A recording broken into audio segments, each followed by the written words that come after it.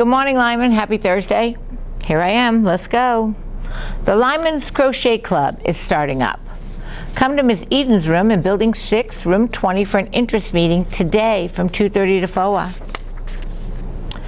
Uh, seniors, the Seminole State uh, College admission, admission scholarship is due this Friday. That's tomorrow.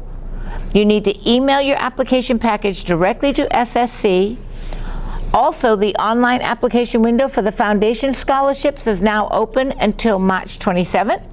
There are a total of 12 scholarships available. Check your school emails regularly for senior scholarship updates sent by Miss Lee and monitor those due dates. You can't be late on those things. Again, to, uh, if you have not ordered a yearbook yet, there's a $5 off opportunity on the cost of a yearbook at yearbookforever.com. That expires tomorrow. Use the code LOVE, L O V E, to order your copy and get $5 off the price. Also, any class of 2022 families who forgot to get their senior yearbook ad. There's a few spots remaining. They also expire tomorrow. That's at yearbookforever.com. Remember, juniors and seniors, if you have not met your um, FSA ELA 10 graduation requirements, testing starts next week, February 22nd. It's one of your last chances to meet your graduation requirement during this school year. It's extremely important that you participate in the testing, so check your school email for when and where you will be testing. Also, congratulations go out to Isabel Munoz from the Lyman rowing team. She earned a bronze medal in the sprint's opening day race last Saturday. This is her first ever singles race, so congratulations, Isabel. Um, and the Lyman Student Astronaut Challenge took home the title last weekend of best overall at their competition. So congratulations again go out to them.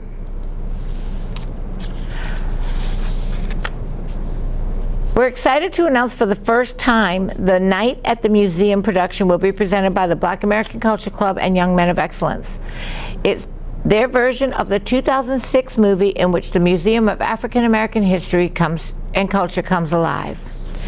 It will be shown in the auditorium during periods 4 and 6 on Friday, February 25th. And teachers, if you're interested in taking your classes, please notify Ms. Thomas with the period and number of students who will be attending. She'll need this information by Friday, I mean by Tuesday, February 22nd, and she, they look forward to celebrating this exciting presentation with you. Students, remember that PTSA will be uh, selling their uh, candy and snacks tomorrow tomorrow. That's every Monday and Friday, so it'll be tomorrow in the courtyard um, for one and two dollars a piece. Uh, any proceeds they earn from that go to their $250 scholarships. And seniors, you need to be aware when those scholarship deadlines are. Check your email. Remember, if athletes, if you haven't registered for the ECG night, get your electrocardiogram done uh, February 23rd from 3 to 8 o'clock here at Lyman. And there's a website available. You can check in the athletic office. Students remember that the underclassmen AP uh, Studio Art Show is still going on. Casselberry Art House behind Casselberry City Hall is going to run until the 22nd of February.